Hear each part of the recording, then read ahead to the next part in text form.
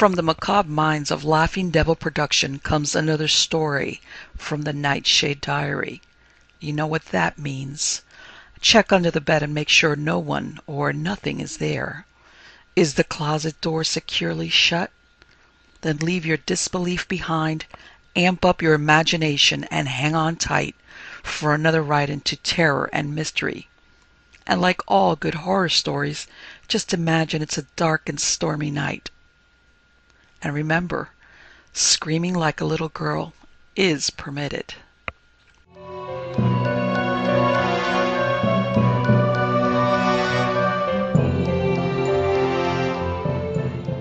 The Curse of Everard Maundy by Seabury Quinn.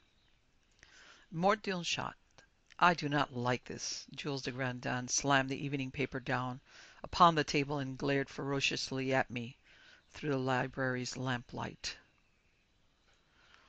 "What's up now?" I asked, wondering vaguely what the cause of his latest grievance was. "Some reporter say something personal about you?" "Parbleu, non! He would better not," the little Frenchman replied, his round blue eyes flashing ominously. "Me? I would pull his nose and tweak his ears. But it is not of the reporter's insolence I speak, my friend. I do not like these suicides. There are too many of them."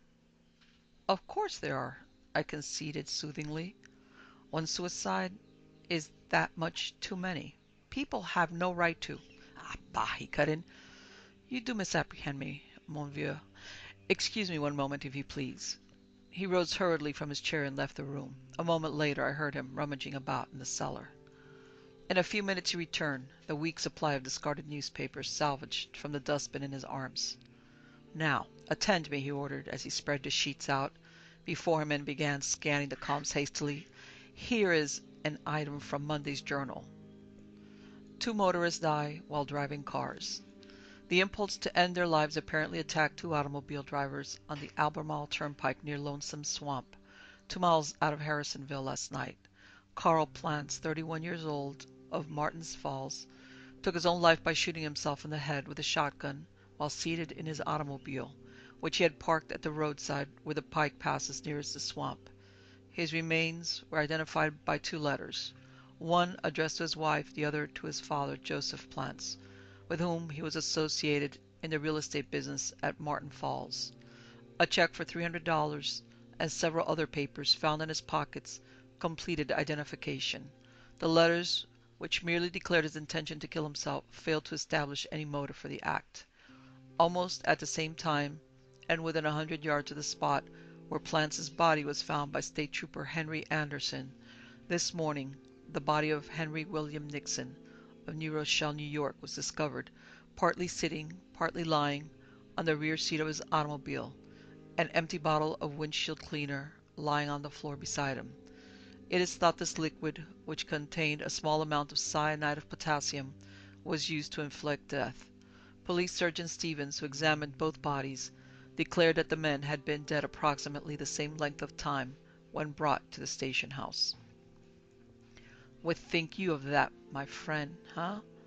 de Grandin demanded, looking up from the paper with one of his direct, challenging stares. "Why, uh, I began, but he interrupted. Hear this," he commanded, taking up a second paper. "This is from the News of Tuesday. Mother and daughters die in death pact. Police and heartbroken relatives are today trying to trace a motive for the triple suicide of Mrs. Ruby Westerfelt and her daughters Joan and Elizabeth, who perished by leaping from the eighth floor of the Hotel Dolores, Newark, late yesterday afternoon. The women registered at the hotel under assumed names went immediately to the room assigned them, and ten minutes later Miss Gladys Walsh, who occupied a room on the fourth floor, was startled to see a dark form hurtle past her window. A moment later a second body flashed past on its downward flight and as Miss Walsh, horrified, rushed toward the window, a loud crash sounded outside. Looking out, Miss Walsh saw the body of a third woman, partly impaled on the spikes of a balcony rail. Miss Walsh sought to aid the woman. As she leaned from her window and reached out with a trembling arm, she was greeted by a scream. "Don't try! I won't be saved. I must go with mother and sister." A moment later the woman had managed to free herself from the restraining iron spikes and fell to the cement area four floors below. And here's still another account, this one from tonight's paper, he continued, unfolding the sheet which had caused his original protest. High school coed takes life in attic. The family and friends of Edna May McCarty, 15-year-old coed of Harrisonville High School, are at a loss to assign a cause for her suicide early this morning. The girl had no love affairs, as far as is known, and had not failed in her examinations. On the contrary, she had passed the school's latest test with flying colors. Her mother told investigating police officials that overstudy might have temporarily unbalanced the child's mind. Miss McCarty's body was found suspended from the rafter of her father's attic by her mother this morning, when the young woman did not respond to a call for breakfast, and could not be found in her room on the second floor of the house. A clothesline, used to hang clothes which were dried inside the house in rainy weather, was used to form the fatal noose. Now then, my friend de Grandin reseated himself, and lighted a vile smelling French cigarette puffing furiously till the smoke surrounded his sleek blond head like a mephitic nimbus. What have you to say to those reports? Am I not right? Are there not too many, mordieu, entirely too many, suicides in our city? All of them weren't committed here, I objected practically. And besides, there couldn't very well be any connection between them. Mrs. Westerveld and her daughters carried out a suicide pact, it appears but they certainly could have had no understanding with the two men and the young girl. Perhaps, maybe, possibly, he agreed, nodding his head so vigorously that a little column of ash detached itself from his cigarette and dropped unnoticed on the bosom of his stiffly starched evening shirt. You may be right, friend Trowbridge, but then, as is so often the case, you may be entirely wrong. One thing I know, I, Jules de Grandin, Shall investigate these cases myself personally. Cordieu, they do interest me. I shall ascertain what is the what here. Go ahead, I encouraged. The investigation will keep you out of mischief, and I returned to the second chapter of Haggard's The Wanderer's Necklace, a book which I have read at least a half a dozen times, yet find as fascinating at each rereading as when I first perused its pages. The matter of the six suicides still bothered him next morning. "Trowbridge, my friend," he asked abruptly, as he disposed of his second helping of coffee, and passed his cup for replenishment, "why is it that people destroy themselves?" "Oh," I answered evasively, "different reasons, I suppose. Some are crossed in love, some meet financial reverses, and some do it while temporarily deranged." "Yes he agreed thoughtfully. Yet every self murderer has a real or fancied reason for quitting the world, and there is apparently no reason why any of these six poor ones who hurled themselves into outer darkness during the past week should have done so. All, apparently, were well provided for. None of them, as far as is known, had any reason to regret the past or fear the future. Yet He shrugged his narrow shoulders significantly. Voila, they are gone. Another thing. At the Faculté de Médecine Légale and the Surete in Paris, we keep most careful to statistics not only on the number, but on the manner of suicides. I do not think your Frenchman differs radically from your American when it comes to taking his life, so the figures for one nation may well be a signpost for the other. These self-inflicted deaths, they are not right. They do not follow the rules. Men prefer to hang, slash, or shoot themselves. Women favor drowning, poison, or gas. Yet here we have one of the men taking poison, one of the women hanging herself, and three of them jumping to death. D'un canard, I am not satisfied with it. Hmm. Neither are the unfortunate parties who killed themselves. The theologians are to be believed, I returned. "You speak right," he returned, then muttered dreamily to himself. "Destruction. Destruction of body and impairment of soul. Mordieu, it is strange. It is not righteous." He disposed of his coffee at a gulp and leaped from his chair. "I go," he declared, dramatically turning toward the door. Where? Where? Where should I go, if not to secure the history of these so puzzling cases? I shall not rest, nor sleep, nor eat, until I have the string of the mystery skein in my hand. He paused at the door, a quick elfin smile playing across his unusually stern features. "And should I return before my work is complete," he suggested, "I pray you have the excellent Nora prepare another of her so magnificent apple pies for dinner." Forty seconds later the front door clicked shut, and from the dining room oriel window I saw his neat little figure, trimly encased in blue chinchilla and gray worsted, passed quickly down the sidewalk, his ebony cane hammering a rapid tattoo on the stones as it kept time to the thoughts racing through his active brain. "I am desolated that my capacity is exhausted," he announced that evening, as he finished his third portion of deep dish apple pie, smothered in pungent rum sauce, and regarded his empty plate sadly. "Eh bien, perhaps it is as well. Did I eat more, I might not be able to think clearly, and clear thought is what I shall need this night, my friend. Come, we must be going." "Going where?" I demanded. "To hear the reverend and estimable Monsieur Maundy deliver his sermon." "Who? Everard Maundy? But of course. Who else?"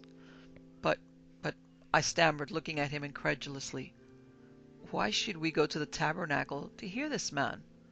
I can't say I'm particularly impressed with his system, and Aren't you a Catholic, de Grandin?"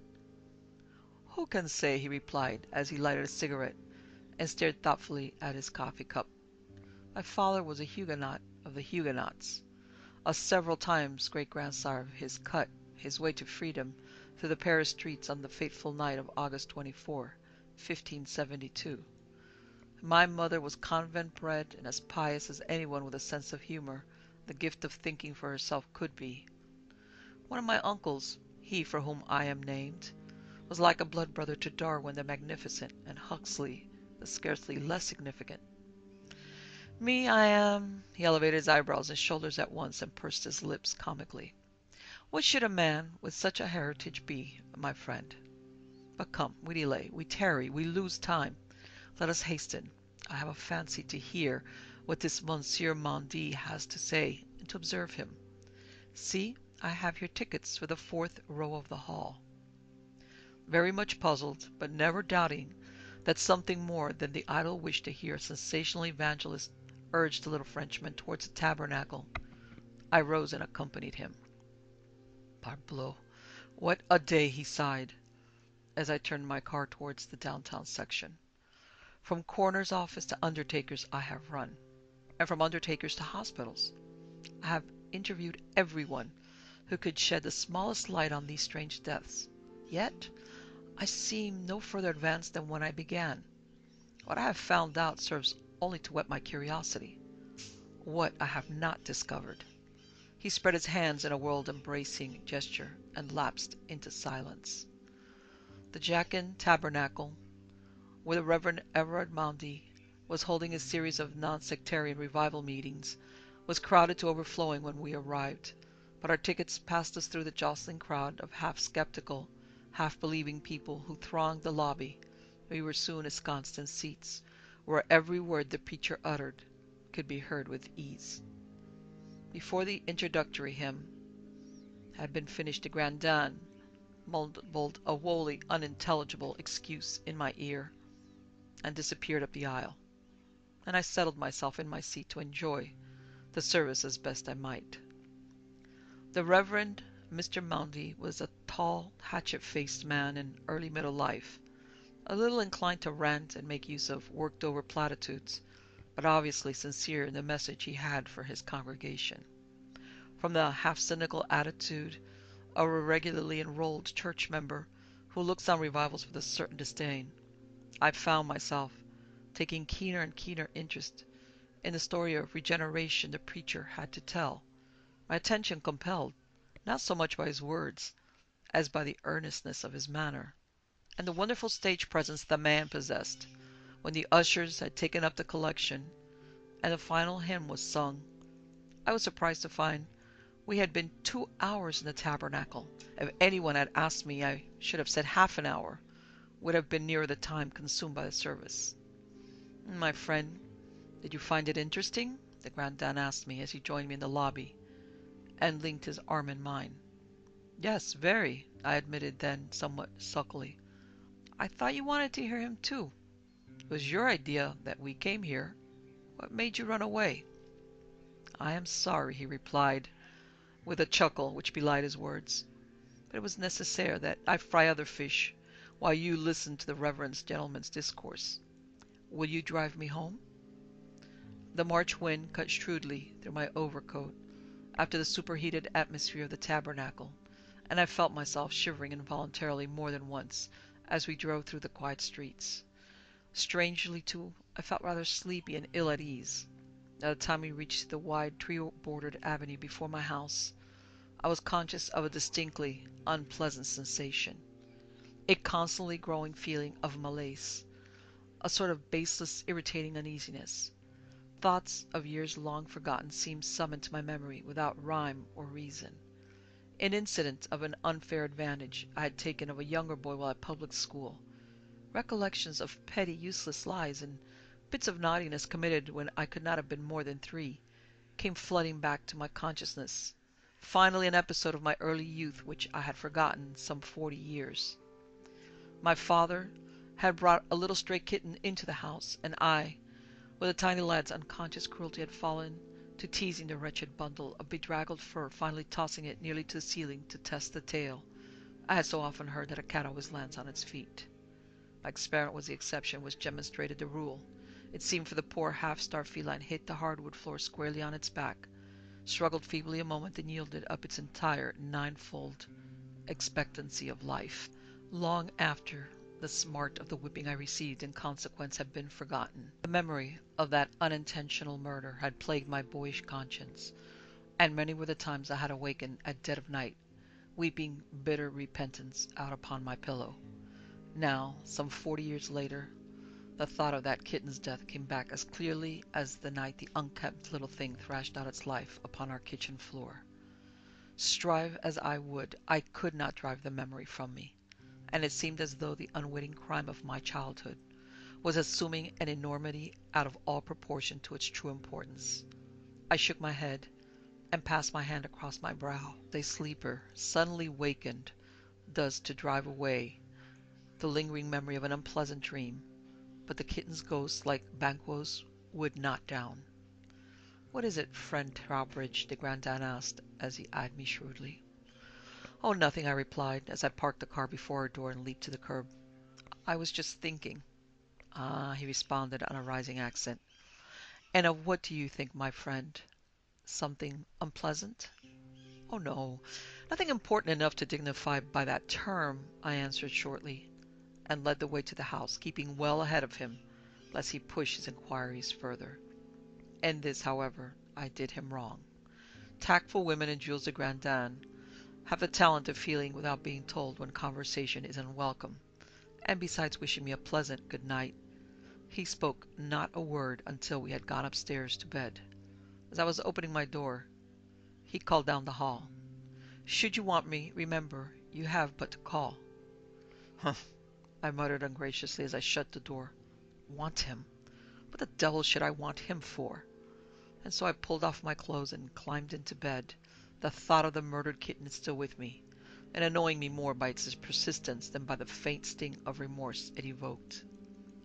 How long I had slept I do not know, but I do know I was wide awake in a single second, sitting up in bed and staring through the darkened chamber, with eyes which strove desperately to pierce the gloom. Somewhere, whether far or near I could not tell, a cat had raised its voice in a long drawn, wailing cry, kept silence a moment, then given tongue again with increased volume.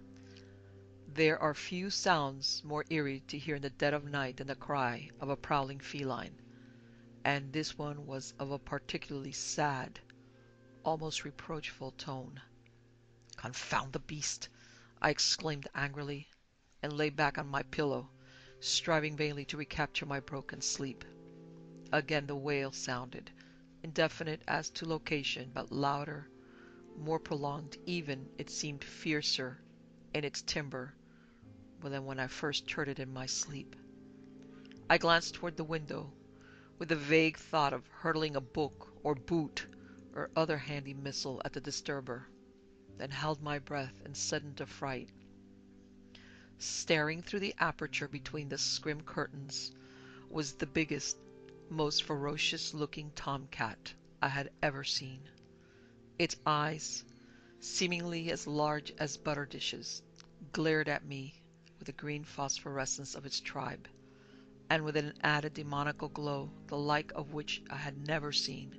Its red mouth, open to full compass in a venomous, soundless spit, seemed almost as large as that of a lion, and the wicked pointed ears above its rounded face were laid back against its head, as though it were crouching for combat. Get out! Scat! I called feebly, but making no move towards the thing. Ssssh! A hiss of incomparable fury answered me, and the creature put one heavy padded paw tentatively over the window sill, still regarding me with its unchanging, hateful stare. Get! I repeated, and stopped abruptly. Before my eyes the great beast was growing, increasing in size till its chest and shoulders completely blocked the window. Should it attack me, I would be as helpless in its claws as a Hindu under the paws of a Bengal tiger. Slowly, stealthily, its cushioned feet making no sound as it set them down daintily, the monstrous creature advanced into the room, crouched on its haunches, and regarded me steadily, wickedly, malevolently. I rose a little higher on my elbow the great brute twitched the tip of its sable tail warningly, half lifted one of its forepaws from the floor, and set it down again, never shifting its sulphurous eyes from my face. Inch by inch I moved my further foot from the bed, felt the floor beneath it, and pivoted slowly in a sitting position until my other foot was free of the bedclothes. Apparently the cat, did not notice my strategy, for it made no menacing move, till I flexed my muscles for a leap, suddenly flung myself from the bedstead, and leaped toward the door. With a snarl, white teeth flashing, green eyes glaring, ears laid back, the beast moved between me and the exit and began slowly advancing on me, hate and menace and every line of its giant body.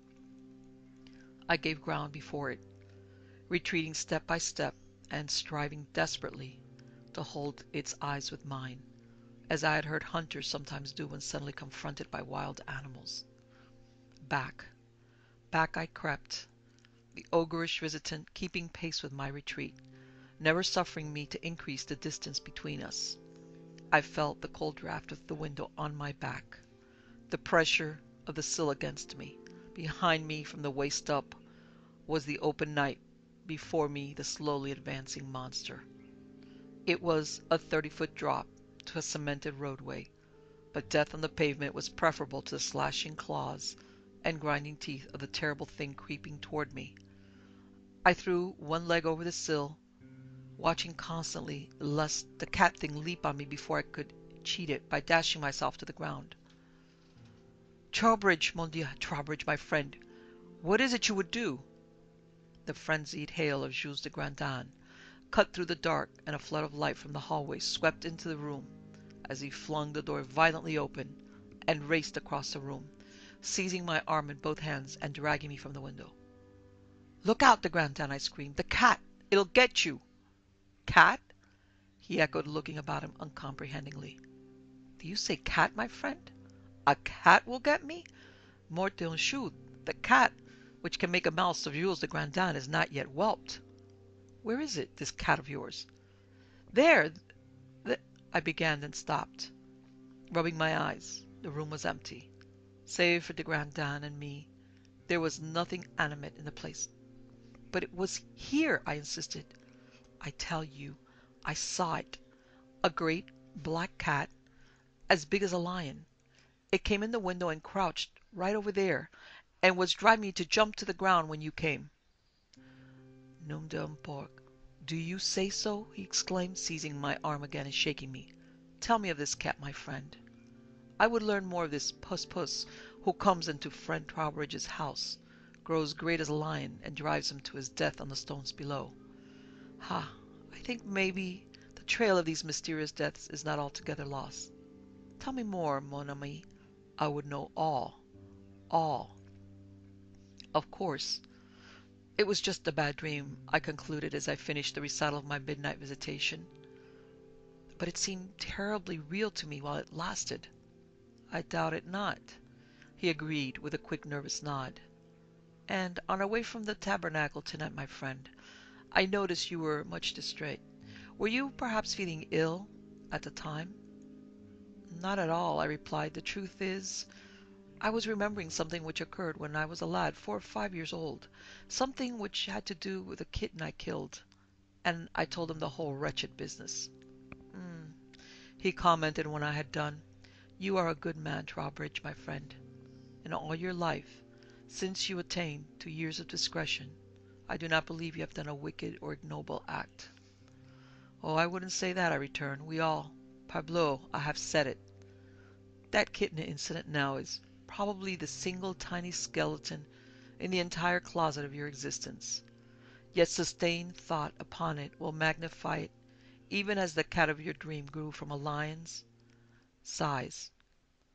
Pardieu, my friend, I am not so sure you did dream of that abomination in the shape of a cat which visited you. Suppose, he broke off, staring intently before him, twisting first one, then the other end of his trimly waxed mustache. Suppose what? I prompted.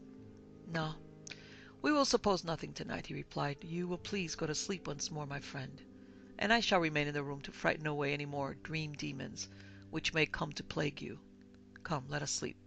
Here, I do remain. He leaped into the wide bed beside me and pulled the down comforter snugly up about his pointed chin and I'd like very much to have you come right over to see her, if you will, Mrs. Weaver finished. I can't imagine whatever made her attempt such a thing. She's never shown any signs of it before.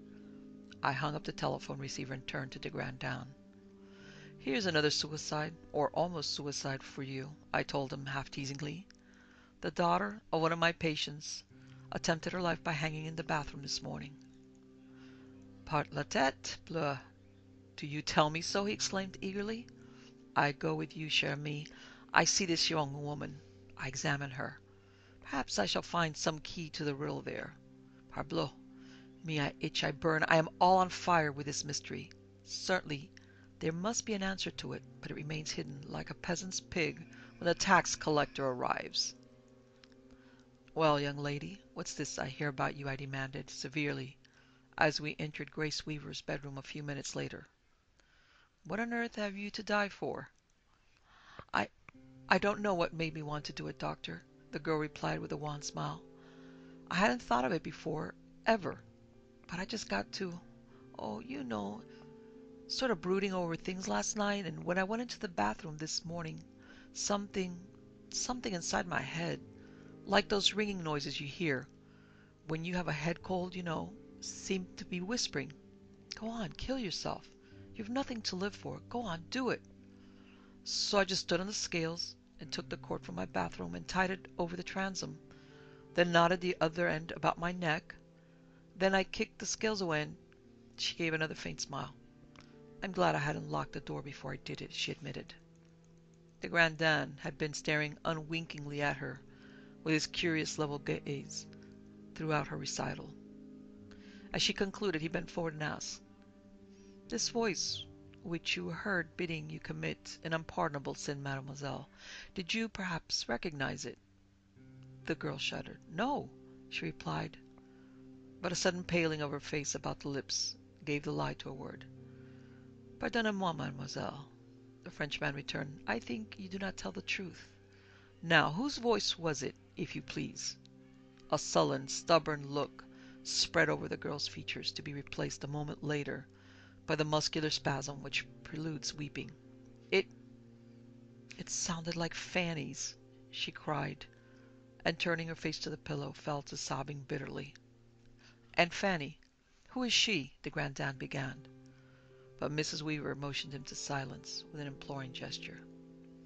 I prescribed a wild bromide and left the patient wondering what mad impulse could have led a girl in the first flush of young womanhood, happily situated in the home of parents who idolized her, engaged to a fine young man, and without bodily or spiritual ill of any sort to attempt her life. Outside, de Grandin seized the mother's arm and whispered fiercely, "Who is this Fanny, Madame Weaver? Believe me, I ask not from idle curiosity, but because I seek vital information." Fanny Briggs was Grace's chum two years ago, Mrs. Weaver answered. My husband and I never quite approved of her, for she was several years older than Grace, and had such pronounced modern ideas that we didn't think her a suitable companion for a daughter. But you know how girls are with their crushes. The more we objected to her going with Fanny, the more she used to seek her company, and we were both at our wits' end when the Briggs girl was drowned while swimming at Asbury Park. I hate to say it, but it was almost a positive relief to us when the news came. Grace was almost broken-hearted about it at first, but she met Charlie this summer, and I haven't heard her mention Fanny's name since her engagement until just now. Ah, de Grandin tweaked the tip of his mustache meditatively. And perhaps Mademoiselle Grace was somewhere to be reminded of Mademoiselle Fanny last night? No, Mrs. Weaver replied. She went with a crowd of young folks to hear Mondes preach. There was a big party of them at the Tabernacle. I'm afraid they went more to make fun than in a religious frame of mind. But he made quite an impression on Grace, she told us. Feu de Dieu! De Grandin exploded, twisting his mustache fiercely. Do you tell me so, madame? This is of the interest, madame. I salute you. He bowed formally to Mrs. Weaver, then seized me by the arm and fairly dragged me away. Trowbridge, my friend, he informed me as we descended the steps of the Weaver portico. This business, it has l'odeur du poisson. How is it you say? The fishy smell? What do you mean? I asked. Parbleu, what should I mean except that we go to interview this Monsieur Everard Maundy immediately, right away, at once. Mordieu, I damn think I have the tail of this mystery in my hand, and may the blight of prohibition fall upon France if I do not twist it. The Reverend Everard Maundy's room in the Tremont Hotel were not hard to locate, for a constant stream of visitors went to and from them. Having an appointment with Mr. Maundy, the secretary asked, as we were ushered into the anteroom. Not we, de Grandin denied, but if you would be so kind as to tell him that Dr. Jules de Grandin of the Paris Surete desires to speak with him for five small minutes, I shall be in your debt.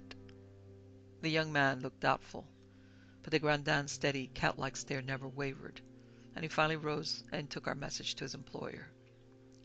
In a few minutes he returned and admitted us to the big room, where the evangelist received his callers behind a wide, flat-topped desk. Ah, Mr. de Grandin, the exhorter began with a professionally bland smile as we entered. You are from France, are you not, sir? What can I do to help you toward the light? Cordieu, monsieur, de Grandin barked, for once forgetting his courtesy and ignoring the preacher's outstretched hand. You can do much. You can explain these unexplainable suicides which have taken place during the past week, the time you have preached here.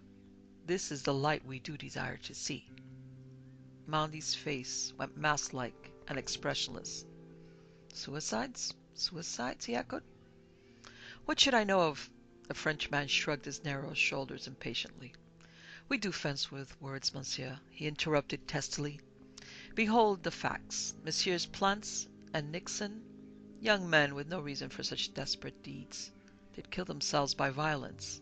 Madame Westervelt and her two daughters, who were happy in their home, as everyone thought, did hurl themselves from a hotel window. A little schoolgirl hanged herself last night. My good friend Trowbridge, who never understandingly harm man or beast, and whose life is dedicated to the healing of the sick, did almost take his life. And this very morning a young girl, wealthy, beloved, with every reason to be happy, did almost succeed in dispatching herself. Now, Monsieur le Prédacteur, the only thing this miscellaneous assortment of people had in common is the fact that each of them did hear you preach the night before, or the same night he attempted self destruction. That is the light we seek. Explain us the mystery, if you please. Maundy's lean, rugged face had undergone a strange transformation while the little Frenchman spoke. Gone was his smug professional smirk, gone the forced and meaningless expression of benignity, and in their place a look of such anguish and horror as might rest on the face of one who hears his sentence of damnation read.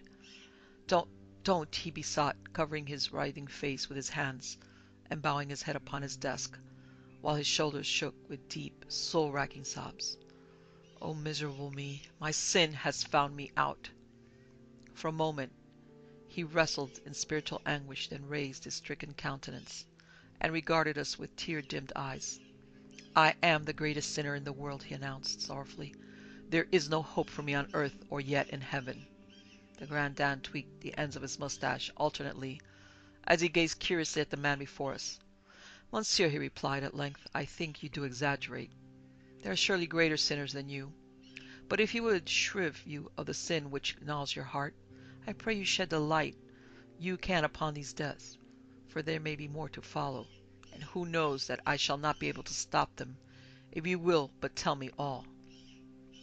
Mea culpa, Maundy exclaimed, and struck his chest with his clenched fist like a Hebrew prophet of old. In my younger days, gentlemen, before I dedicated myself to the salvaging of souls, I was a scoffer. What I could not feel or weigh or measure, I disbelieved. I mocked at all religion and sneered at all the things which others held sacred. One night I went to a spiritualistic seance, intent on scoffing, and forced my young wife to accompany me. The medium was an old woman, wrinkled, half blind, and unbelievably ignorant. But she had something some secret power which was denied the rest of us. Even I, atheist and derider of the truth that I was, could see that. As the old woman called on the spirits of the departed, I laughed out loud and told her it was all a fake. She came out of her trance and turned her deep set, burning old eyes on me. You, you's going to feel mighty sorry for them words. I tells you the spirits can hear what you says, and they will take their revenge on ya and yours, just as on them as fellows ya, till you wishes your tongue had been cut out before you said them words this year night. I tried to laugh at her, to curse her for a sniveling old faker, but there was something so terrible in her wrinkled old face that the words froze on my lips, and I hurried away. The next night my wife, my lovely young bride, drowned herself in the river, and I have been a marked man ever since. Wherever I go it is the same. God has seen fit to open my eyes to the light of truth and give me words to place His message before His people, and many who came to sneer at me go away believers. But wherever throngs gather to hear me bear my testimony, there are always these tragedies. Tell me, gentlemen, he threw out his hands in a gesture of surrender. Must I forever cease to preach the message of the Lord to his people?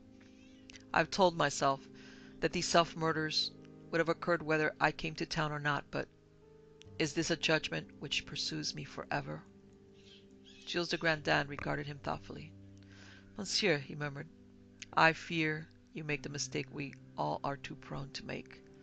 You do saddle le bon Dieu with all the sins with which the face of man is blackened. What if this were no judgment of heaven, but a curse of a very different sort, huh? You mean the devil might be striving to overthrow the effects of my work? The other asked, a light of hope breaking over his haggard face. Mm, perhaps. Let us take that for our working hypothesis, de Grandin replied. At present we may not say whether it be devil or devilkin which dogs your footsteps. But at the least we are greatly indebted to you for what we have told. Go, my friend, continue to preach the truth as you conceive the truth to be, and may the God of all peoples uphold your hands. Me, I have other work to do, but it may be scarcely less important. He bowed formally and, turning on his heel, strode quickly from the room.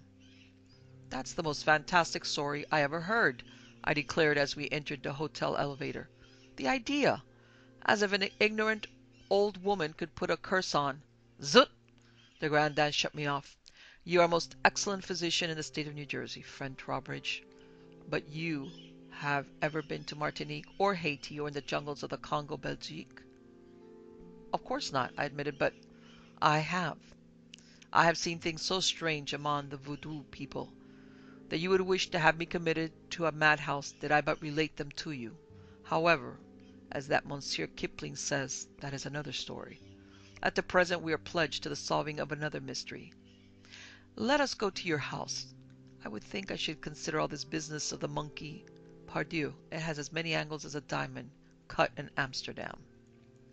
Tell me, friend Trowbridge, he demanded, as we concluded our evening meal, have you perhaps among your patients some young man who has met with a great sorrow recently? Someone who has sustained a loss of wife or child or parents? I looked at him in amazement, but the serious expression on his little heart shaped face told me he was in earnest, not making some ill timed jest at my expense. Why, yes, I responded. There is young Alvin Spence. His wife died in childbirth last June, and the poor chap has been half beside himself ever since. Thank God I was out of town at the time and didn't have the responsibility of the case. Thank God, indeed, de Grandin nodded gravely. It is not easy for us, though we do ply our trade among the dying, to tell those who remain behind of their bereavement. But this Monsieur Spence, will you call on him this evening? Will you give him a ticket to the lecture of Monsieur Maundy? No! I blazed, half rising from my chair. I've known that boy since he was a little toddler. His dead wife from childhood, too. And if you're figuring on making him the subject of some experiment... Softly, my friend, he besought. There is a terrible thing loose among us. Remember the noble martyrs of science, those so magnificent men who risked their lives that yellow fever and malaria should be no more. Was not their work a holy one? Certainly. I do but wish that this young man may attend the lecture to-night, and on my honor I shall guard him until all danger of attempted self-murder is past. You will do what I say?" He was so earnest in his plea that I, though I felt like an accessory before the fact in a murder, I agreed. Meantime, his little blue eyes snapping and sparkling with the zest of the chase, de Grandin had busied himself with a telephone directory, looking up a number of addresses, calling through them, discarding some, adding others, until he had obtained a list of some five or six. Now, mon vieux, he begged as I made ready to visit Alvin Spence on my treacherous errand, I would that you convey me to the rectory of St. Benedict's Church. The priest in charge there is Irish, and the Irish have the gift of seeing things which you colder blooded Saxons may not. I must have a confab with his good Father O'Brien before I can permit that you interview the young Monsieur Spence. Dieu, me, I'm a scientist, no murderer. I drove him past the rectory and parked my motor at the curb, waiting impatiently while he thundered at the door with the handle of his ebony walking stick. His knock was answered by a little old man in clerical garb and a face as round and ruddy as a winter apple. De Grandin spoke hurriedly to him in a low voice, waving his hands, shaking his head, shrugging his shoulders, as was his wont when the earnestness of his argument bore him before it. The priest's round face showed first incredulity, then mild skepticism, finally absorbed interest. In a moment the pair of them had vanished inside the house, leaving me to cool my heels in the bitter March air. "You were long enough," I grumbled as he emerged from the rectory. "Pardieu, yes, just long enough," he agreed. "I did accomplish my purpose, and no visit is either too long or too short when you can say that. Now to the house of the good Monsieur Spence, if you will. Mordieu, but we shall see what we shall see this night." Six hours later De Grandin and I crouched shivering at the roadside, where the winding serpentine Albemarle pike dips into the hollow beside the lonesome swamp. The wind, which had been trenchant as a shrew's tongue earlier in the evening, had died away, and a hard, dull bitterness of cold hung over the hills and hollows of the rolling countryside. From the wide salt marshes, where the bay's tide kept up to mingle with the swamp's brackish waters twice a day, there came great sheets of brumous, impenetrable vapor, which shrouded the landscape and distorted commonplace objects into hideous, gigantic monstrosities. Mort d'un petit bonhomme, my friend, said Grandin, commented between chattering teeth. I do not like this place. It has an evil air. There are spots where the very earth does breathe of unholy deeds, and by the sacred name of a rooster, this is one such. Look you at this accursed fog. Is it not as if the spectres of those drowned at sea were marching up to shore that night? Huh, I replied, sinking my neck lower in the collar of my ulster, and silently cursing myself for a fool. A moment's silence then. You are sure Monsieur Spence must come this way? There is no other road by which he can reach his home? Of course not, I answered shortly. He lives out in the new Weiss development with his mother and sister. You were there this evening, and this is the only direct motor route to the subdivision from the city. Oh, that is well, he replied, hitching the collar of his great coat higher about his ears. You will recognize his car, surely? I'll try to, I promised. But you can't be sure of anything on a night like this. I'd not guarantee to pick out my own. There's somebody pulling up beside the road now. I interrupted myself as a roadster came to an abrupt halt and stood panting, its headlights forming vague luminous spots in the haze. Mais oui, he agreed. And no one stops at this spot for any good until it has been conquered. Come, let us investigate. He started forward, body bent, head advanced like a motion picture conception of an Indian on the warpath. Half a hundred stealthy steps brought us abreast of the parked car. Its occupant was sitting back on the driving seat, his hands resting listlessly on the steering wheel, his eyes upturned, as though he saw vision in the trailing wisps of fog before him. I needed no second chance to recognize Alvin Spence, though the rapt look upon his white, set face transfigured it almost beyond recognition. He was like a poet beholding the beatific vision of his mistress, or a medieval eremite gazing through the open portals of paradise. Ah, de Grandin whispered, cut like a wired etched knife through the silence of the fog-bound air. Do you behold it, friend Trowbridge? What? I whispered back, but broke the syllable half uttered. Thin, tenuous, scarcely to be distinguished from the lazily drifting festoons of the fog itself, there was a something in mid-air before the car where Alvin Spence sat with his yearning soul looking from his eyes. I seemed to see clear through the thing, yet its outlines were plainly perceptible, and as I looked and looked again, I recognized the unmistakable features of Dorothy Spence, the young man's dead wife. Her body, if the tenuous ethereal mass of static vapor could be called such, was bare of clothing, and seemed endued with a voluptuous grace and allure the living woman had never possessed. But her face was that of the young woman who had lain in Rosedale Cemetery for three quarters of a year. If ever living man beheld the simulacrum of the dead, we three gazed on the wraith of Dorothy Spence that moment. Dorothy, my beloved, my dear, my dear, the man half whispered, half sobbed, stretching forth his hands to the spirit woman, then falling back on the seat as a vision seemed to elude his grasp, when a sudden puff of breeze stirred the fog. We could not catch the answer he received, close as we stood, but we could see the pale, curving lips frame the single word, "Come," and saw transparent arms stretched out to beckon him forward. The man half rose from his seat, then sank back, set his face in sudden resolution, and plunged his hand into the pocket of his overcoat. Beside me, de Grandin had been fumbling with something in his inside pocket. As Alvin Spence drew forth his hand and the dull gleam of a polished revolver shone, in the light, from his dashboard lamp. The Frenchman leaped forward like a panther. "Stop him, friend Trowbridge!" he called shrilly, and to the hovering vision. "Avaunt, accursed one! Begone, thou exile from heaven! Away, snake spawn!" As he shouted, he drew a tiny pellet from his inner pocket and hurled it point blank through the vaporous body of the spectre. Even as I seized Spence's hand, and fought with him for possession of the pistol, I saw the transformation from the tail of my eye. As de Grandin's missile tore through its unsubstantial substance, the vision woman seemed to shrink in upon herself, to become suddenly more compact, thinner, scrawny, her rounded bosom flattened to mere folds of leather like skin, stretched drum tight above staring ribs. Her slender, graceful hands were horrid, claw tipped talons, and the yearning, enticing face of Dorothy Spence became a mask of hideous, implacable hate. Great eyed, thin lipped, beak nosed, such a face as the demons of hell might show after a million million years of burning in the infernal fires.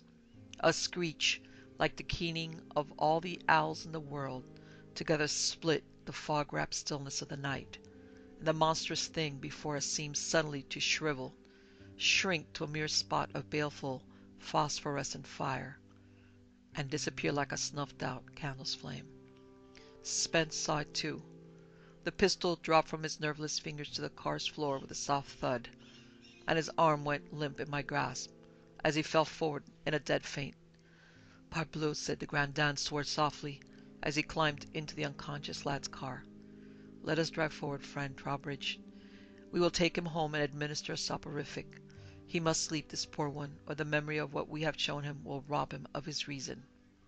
So we carried Alvin Spence to his home, administered a hypnotic, and left him in the care of his wondering mother, with instructions to repeat the dose if he should wake. It was a mile or more to the nearest bus station, and we set out at a brisk walk, our heels hitting sharply against the frosty concrete of the road. What in the world was it, de Grandin? I asked as we marched in steps down the darkened highway. It was the most horrible Parbleu, he interrupted. Someone comes this way in a monstrous hurry. His remark was no exaggeration. Driven as though pursued by all the furies from Pandemonium, came a light motor car with plain black sides and a curving top. "Look out!" the driver warned as he recognized me and came to a bumping halt. "Look out, Dr. Trowbridge! It's walking! It got out and walked!" De Grandin regarded him with an expression of comic bewilderment. "Now, what is it that walks, mon brave?" he demanded. "Mordieu! You chatter like a monkey with a handful of hot chestnuts. What is it that walks? And why must we look out for it, hein?"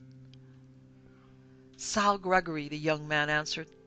"He died this morning, and Mr. Johnson took him to the parlours to fix him up, and sent me and Joe Williams out with him this evening.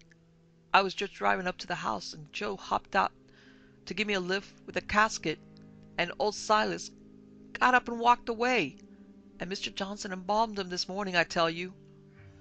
"Nom d'un chou-fleur!" The Grandame shot back. "And where did this so remarkable demonstration take place, mon vieux? Also, what of the excellent Williams, your partner?" "I don't know, and I don't care," the other replied. "When a dead corpse I saw embalmed this morning gets out of its casket and walks, I ain't goin' to wait for nobody. Jump up here if you want to go with me. I ain't goin' to stay here no longer." "Bien," de Grandin acquiesced. "Go your way, my excellent one. Should we encounter your truant corpse, we will direct him to his waiting bier." The young man waited no second invitation, but started his car down the road at a speed which would bring him into certain trouble if observed by a straight trooper. "Now, what the devil do you make of that?" I asked. I know Johnson, the funeral director, well, and I always thought he had a pretty level headed crowd of boys about his place. But if that lad hasn't been drinking some powerful liquor, I'll be "Not necessarily, my friend," de Grandin interrupted. "I think it may not be impossible that he tells but the sober truth. It may well be that the dead do walk this road to-night." I shivered with something other than the night's chill as he made the matter of fact assertion, but forbore pressing him for an explanation. There are times when ignorance is a happier portion than knowledge. We had marched perhaps another quarter mile in silence when de Grandin suddenly plucked my sleeve. "Have you noticed nothing, my friend?" he asked. "What do you mean?" I demanded sharply, my nerves were worn tender by the night's events. "I am not certain, but it seems to me we are followed."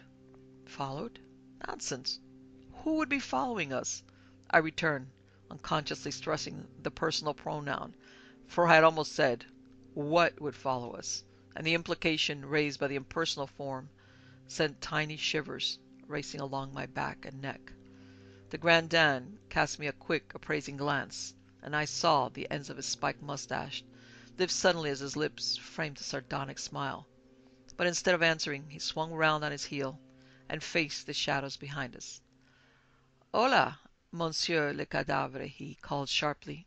"Here we are, in sang du diable, here we shall stand!" I looked at him in open mouthed amazement, but his gaze was turned steadfastly on something half seen in the mist which lay along the road. Next instant my heart seemed pounding through my ribs, and my breath came hot and choking in my throat, for a tall, gangling man suddenly emerged from the fog and made for us at a shambling gait. He was clothed in a long, old fashioned double breasted frock coat and stiffly starched collar, topped by a standing collar and white ministerial tie. His hair was neatly, though somewhat unnaturally, arranged in a central part above a face the color and smoothness of wax, and little flecks of talcum powder still clung here and there to his eyebrows. No mistaking it. Johnson's artist that he was had arrayed the dead farmer in the manner of all his kind for the last public appearance before relatives and friends. One look told me the horrible, incredible truth. It was the body of old Silas Gregory which stumbled toward us through the fog. Dressed, greased, and powdered for its last long rest, the thing came toward us with faltering, uncertain strides. And I noticed, with a sudden ability for minute inventory fear sometimes lends our senses, that his old sunburned skin showed more than one brand where the formaldehyde embalming fluid had burnt it. In one long thin hand the horrible thing grasped the helve of a farmyard axe. The other hand lay stiffly folded across the midriff as the embalmer had placed it when his professional ministrations were finished that morning. "My God!" I cried, shrinking back towards the roadside. But de Grandin ran forward to meet the charging horror with a cry which was almost like a welcome. "Stand clear, friend Trowbridge!" he warned. "We will fight this to a finish I and it!" His little round eyes were flashing with the zest of combat. His mouth was set in a straight, uncompromising line beneath the sharply waxed ends of his diminutive moustache, and his shoulders hunched forward like those of a practised wrestler before he comes to grips with his opponent. With a quick whipping motion he ripped the razor sharp blade of his sword cane from its ebony sheath, and swung the flashing steel in a whirring circle about his head, then sank to defensive posture one foot advanced, one retracted, the leg bent at the knee, the triple edged sword dancing before him, like the darting tongue of an angry serpent. The dead thing never faltered its stride. Three feet or so from Jules de Grandin it swung the heavy, rust encrusted axe above his shoulder and brought it downward, its dull, lack lustre eyes staring straight before it with an impassivity more terrible than any glare of hate. "Ça ha!" De Grandin's blade flickered forward like a streak of storm lightning, and fleshed itself to the hilt in the corpse's shoulder. He might as well have struck his steel into a bag of meal. The axe descended with a crushing, devastating blow. De Grandin leaped nimbly aside, disengaging his blade and swinging it again before him, but an expression of surprise, almost of consternation, was on his face. I felt my mouth go dry with excitement, and a queer, weak feeling hit me at the pit of the stomach. The Frenchman had driven his sword home with the skill of a practised fencer and the precision of a skilled anatomist. His blade had pierced the dead man's body at the junction of the short head of the biceps and the great pectoral muscle, at the coracoid process, inflicting a wound which should have paralyzed the arm. Yet the terrible axe rose for a second blow, as though de Grandin's steel had struck wide of the mark. Ah, de Grandin nodded understandingly as he leaped backward, avoiding the axe blade by the breadth of a hair. Bien, à la fin! His defensive tactics changed instantly. Flickeringly his sword lashed forward, then came down and back with a sharp whipping motion. The keen edge of the angular blade bit deeply into the corpse's wrist, laying bare the bone. Still the axe rose and fell and rose again. Slash after slash de Grandin gave, his slicing cuts falling with almost mathematical precision in the same spot, shearing deeper and deeper into his dreadful opponent's wrist. At last, with a short, clucking exclamation, he drew his blade sharply back for the last time, severing the axe hand from the arm. The dead thing collapsed like a deflated balloon at his feet as hand and axe fell together to the cement roadway. Quick as a mink, de Grandin thrust his left hand within his coat, drew forth a pellet similar to that with which he had transformed the counterfeit of Dorothy Spence, and hurled it straight into the upturned, ghastly calm face of the mutilated body before him. The dead lips did not part, for the embalmer's sutures had closed them forever that morning. But the body writhed upward from the road, and a groan, which had a muted scream, came from its flat chest. It twisted back and forth a moment, like a mortally stricken serpent in its death agony, then lay still. Seizing the corpse by its grave clothes, de Grandin dragged it through the line of roadside hazel bushes to the rim of the swamp, and busied himself cutting long, straight withes from the brushwood, then disappeared again behind the tangled branches. At last "It is finished," he remarked, stepping back to the road. "Let us go." "What what did you do?" I faltered. "I did the needful, my friend. Morbleu, we had an evil, a very evil thing imprisoned in that dead man, and I took such precautions as were necessary to fix it in its prison. A stake through the heart, a severed head, and the whole firmly thrust into the ooze of the swamp. Voila! It will be long before other innocent ones are induced to destroy themselves by that." "But I began. "No, no," he replied, half laughing. "En avant, mon ami. I would that we return home as quickly as possible. Much work creates much appetite, and I make small doubt that I shall consume the remainder of that so delicious apple pie which I could not eat at dinner." Jules de Grandin regarded the empty plate before him with a look of comic tragedy. "May endless pensions rest upon your amiable cook, friend Trowbridge," he pronounced. "But may the curse of Heaven forever pursue the villain who manufactures the woefully inadequate pans in which she bakes her pies." "Hang the pies, and the plate makers, too!" I burst out. "You promised to explain all this hocus pocus, and I have been patient long enough. Stop sitting there like a glutton, wailing for more pie, and tell me about it." "Oh, the mystery!" he replied stifling a yawn and lighting a cigarette. "That is simple, my friend. But these so delicious pies However, I do digress. When first I saw the accounts of so many strange suicides within one little week, I was interested, but not greatly puzzled. People have slain themselves since the beginning of time, and yet He shrugged his shoulders deprecatingly. What is it that makes the hound scent his quarry? The warhorse sniffed the battle afar off. Who can tell? I said to me, there is undoubtedly more to these deaths than the newspapers have said. I shall investigate. From the coroners to the undertakers, and from the undertakers to the physicians. Yes, Parbleu, and to the family residences as well. I did go, gleaning here a bit and there a bit of information, which seemed to mean nothing, but which might mean much did I have but other information to add to it. One thing I ascertained early. In each instance the suicides had been to hear this Reverend Maundy the night before, or the same night they did away with themselves. This was perhaps insignificant. Perhaps it meant much. I determined to hear this Monsieur Maundy with my own two ears, but I would not hear him too close by. Forgive me, my friend, for I did make of you the guinea pig for my laboratory experiment. You I left in a forward seat, while the reverend gentleman preached to me. I stayed in the rear of the hall, and used my eyes as well as my ears. What happened that night? Why, my good friend Trowbridge, who in all his life had done no greater wrong than thoughtlessly to kill a little, so harmless kitten, did almost seemingly commit suicide. But I was not asleep by the switch, my friend, not Jules de Grandin.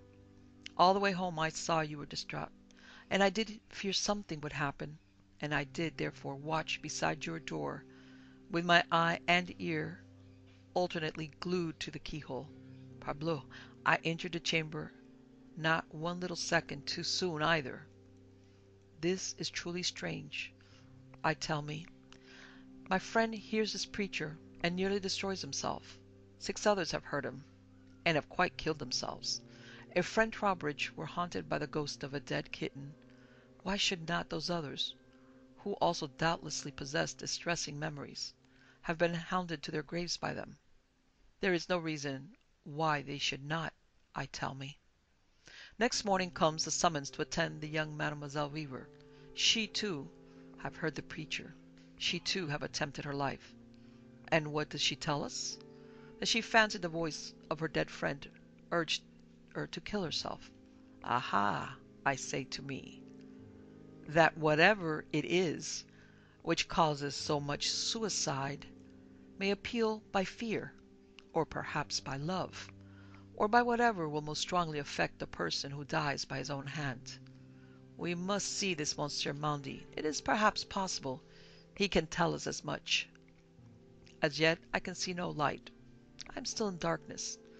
But far ahead I already see the gleam of a promise of information. When we see Monsieur Everard Maundy and he tells us of his experience at that séance so many years ago, parbleu, I see it all, or almost all. Now, what was it that acted as agent for that aged sorceress curse? He elevated one shoulder and looked unquestioningly at me. How should I know? I answered. Correct, he nodded. How indeed? Beyond doubt it were a spirit of some sort. What sort, we do not know. Perhaps it were the spirit of some unfortunate who had destroyed himself and was earthbound as a consequence. There are such. And as misery loves company in the proverb, so do these wretched ones seek to lure others to join them in their unhappy state. Or maybe it were an elemental. A what? I demanded. An elemental. A Neutrarian. What the deuce is that? For answer he left the table and entered the library, returning with a small red leather bound volume in his hand. You have read the works of Monsieur Rossetti? he asked. Yes. You recall his poem, Eden Bowers, perhaps? Mm, yes, I've read it, but I never could make anything of it. Quite likely, agreed. Its meaning is most obscure. But I shall enlighten you. Attendez-moi. Thumbing through the thin pages, he began reading at random. It was Lilith, the wife of Adam. Not a drop of her blood was human, but she was made like a soft, sweet woman. Lilith stood on the skirts of Eden, she was the first that thence was driven. With her was hell, and with Eve was heaven. What bright babes had Lilith and Adam! Shapes that coiled in the woods and waters, glittering sons and radiant daughters. You see, my friend? No, I'm hanged if I do. Very well then. According to the rabbinical lore, before Eve was created, Adam, our first father, had a demon wife named Lilith and by her he had many children, not human, nor yet wholly demon. For her sins Lilith was expelled from Eden's bowers, and Adam was given Eve to wife. With Lilith was driven out all her progeny by Adam, and Lilith and her half man, half demon brood declared war on Adam and Eve and their descendants forever. These descendants of Lilith and Adam have ever since roamed the earth and air, incorporeal, having no bodies like men, yet having always a hatred for flesh and blood, because they were the first or elder race. They are sometimes called Neutrarians, because they are neither wholly men nor wholly devils. Me, I do not take sides in the controversy. I care not what they are called, but I know what I have seen. I think it is highly possible those ancient Hebrews, misinterpreting the manifestations they observed, accounted for them by their so fantastic legends. We are told these Neutrarians or elementals are immaterial beings. Absurd? Not necessarily. What is matter? Material? Electricity, perhaps? A great system of law and order throughout the universe and all the millions of worlds extending throughout infinity. Very good so far, but when we have said matter is electricity, what have we to say of asked, what is electricity? Me? I think it is a modification of the ether. Very good, you say. But what is ether? Parbleu, I do not know. The matter, or material of the universe is little, if anything more than electrons flowing about in all directions. Now here, now there, the electrons coalesce and form what we call solids, rocks and trees and men and women. But may they not coalesce at a different rate of speed or vibrations to form beings which are real, with emotions and loves and hates similar to ours, yet for the most part invisible to us, as is the air? Why not? No man can truthfully say, I have seen the air, yet no one is so great a fool as to doubt its existence for that reason. Yes, but we can see the effects of air objected. Air in motion, for instance, becomes wind and... Mort d'encrepade, he burst out. And have we not observed the effects of these elementals, these neutrarians, or whatsoever their names may be? How the six suicides? How of that which tempted the young Mademoiselle Weaver and the young Monsieur Spence to self-murder? How of the cat which entered your room? Did we see no effects there, Han? But the things we saw with young Spence and the cat were visible, I objected. But of course. When you fancied you saw the cat, you were influenced from within, even as Mademoiselle Weaver was when she heard the voice of her dead friend. What we saw with the young Spence was the shadow of his desire, the intensified longing and love for his dead wife, plus the evil entity which urged him to unpardonable sin. Oh? All right, I conceded. Go on with your theory. He stared thoughtfully at the glowing tip of his cigarette a moment then. It has been observed, my friend, that he who goes to a spiritualistic seance may come away with some evil spirit attached to him, whether it be a spirit which once inhabited human form, or an elemental. It is no matter. The evil ones swarm about the lower lights of the spiritualistic meeting as flies congregate at the honey pot in summer. It appears such an one fastened to Everard Maundy. His wife with its first victim, afterward those who heard him preach were attacked. Consider the scene at the tabernacle when Monsieur Maundy preaches. Emotion, emotion, all is emotion. Reason is lulled to sleep by the power of his words, and the minds of his hearers are not on their guard against the entrance of evil spirits. They are too intent on what he is saying. Their consciousness is absent. Poof! The evil one fastens firmly on some unwary person, explores his innermost mind, finds out his weakest point of defense. With you, it was the kitten. With young Mademoiselle Weaver, her dead friend. With Monsieur Spence, his lost wife. Even love can be turned to evil purposes by such an one. These things I did consider most carefully, and then I did enlist the services of young Monsieur Spence. You saw what you saw on the lonely road this night, appearing to him in the form of his dead beloved. This wicked one had all but persuaded him to destroy himself when we intervened. Très bien. We triumphed then. The night before, I had prevented your death. The evil one was angry at me. Also it was frightened. If I continued, I would rob it of much prey. So it sought to do me harm. Me. I am ever on guard, for knowledge is power. It could not lead me to my death, and being spirit, it could not directly attack me. It had recourse to its last resort. While the young undertaker's assistant was about to deliver the body of the old Monsieur Gregory, the spirit seized the corpse and animated it, then pursued me. Ha! Almost I thought it had done for me at one time, for I forgot it was no living thing. I fought and attacked it as if it could be killed.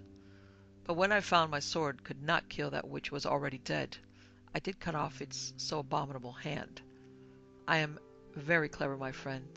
The evil spirit reaps small profits from fighting with me. He made the boastful admission in all seriousness, entirely unaware of its sound, for to him it was but a straightforward statement of undisputed fact. I grinned in spite of myself. Then curiosity got the better of amusement. What were those little pellets you threw at the spirit when it was luring young Spence to commit suicide, and later at the corpse of Silas Gregory? I asked. Ah, his selfish smile flickered across his lips, then disappeared so quickly as it came. It is better you do not ask me that, mon cher. Let it suffice when I tell you I convinced the good Pere O'Brien that he should let me have what no layman is supposed to touch, that I might use the ammunition of heaven against the forces of hell.